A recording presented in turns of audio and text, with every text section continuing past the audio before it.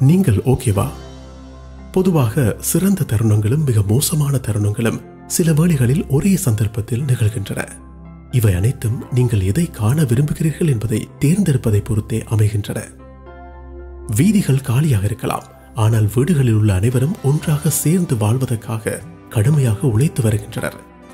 பாடசாலைகளும் பணியகங்களும் மூடப்பட்ட போதும் பிள்ளைகளும் பெற்றோர்களும் ஒருவரையொருவர் ஓரளவினும் புரிந்து கொள்கின்றனர். நண்பர்களும் உறவினர்களும் தூரமாக விலகி இருந்த போதும் எவ்வளவு தூரம் அவர்கள் மீது எங்களுக்கு அன்பு உருவாகிறது என்பதை இறுதியாக நாம் புரிந்து கொள்ளக்கூடியதாக உள்ளது. தூரம் என்பது நாம் நெருங்க முடியாது என்று அர்த்தமல்ல. நோய் என்பது நாம் குணமடைய முடியாது என்ற அர்த்தமும் அல்ல. நீங்கள் எம் அனைவரிடமும் உள்ள பயமாகவோ அல்லது இப்போது எம் அனைவருக்கும் தேவைப்படும் அன்பாகவோ இருக்கலாம். நாம் அன்பையே தேர்ந்தெடுப்போம்.